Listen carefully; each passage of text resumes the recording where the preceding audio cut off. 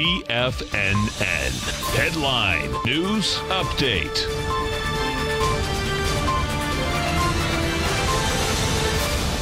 Welcome, folks. We had the Dow Industrials finish down 30, Nasdaq off 19, S&P's off four and a half. Gold contract, gold contract uh, up five dollars and seventy cents, 1402. You're going to have gold uh, over.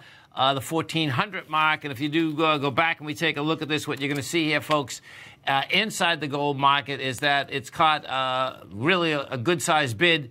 Uh, you are talking about breaking a consolidation that goes all the way back to 2013. So I suspect you're going to get more movement now, next week, but this is quite a move. And this is also saying that gold can make a run now to the 1794 as well as its all time high of 1920.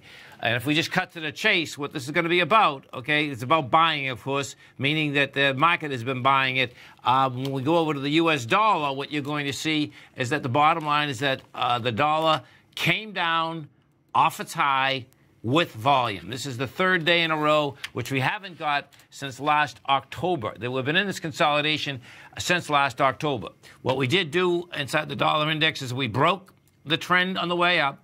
Uh, we did 30,000 contracts today. On Wednesday, we did 29,000 contracts. Yesterday, you did 28,000. So, bottom line, you came off this high. You did come off the high with volume. That's saying lower prices coming at us. And the lower part of the consolidation that the dollar index has been in is the 94 mark. Uh, bottom line, if we come into this 94 mark and you come in with some volume, guess what? Then then it's going to be game down to 89. You know, when we take this dollar index, it's really intriguing actually when you when you put it back. Um, quite some time, you can see that you know you did you did a nice bounce off this low that was established out here in January of 2018.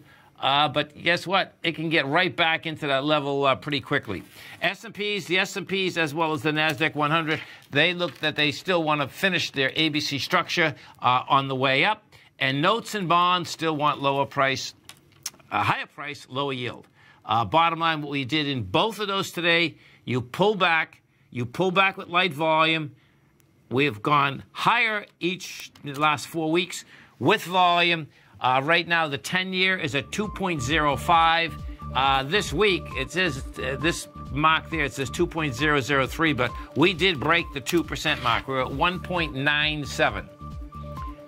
Recap Dow Industrials down 34, NASDAQ off 19, S&P's off 3.5. Have a great weekend. Have a safe weekend.